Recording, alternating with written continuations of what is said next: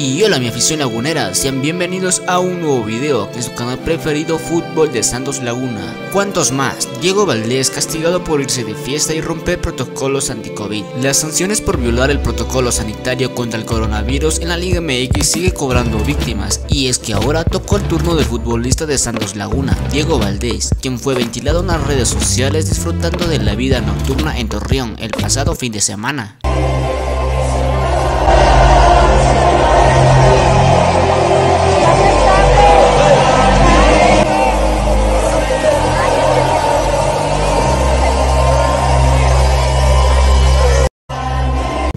La situación, Santos Laguna ya se pronunció al respecto, anunció que al futbolista será sancionado de forma interna, aunado que ya notificaron a la Liga MX de incidente para que tomen cartas en el asunto, asimismo se mantiene aislado de forma preventiva.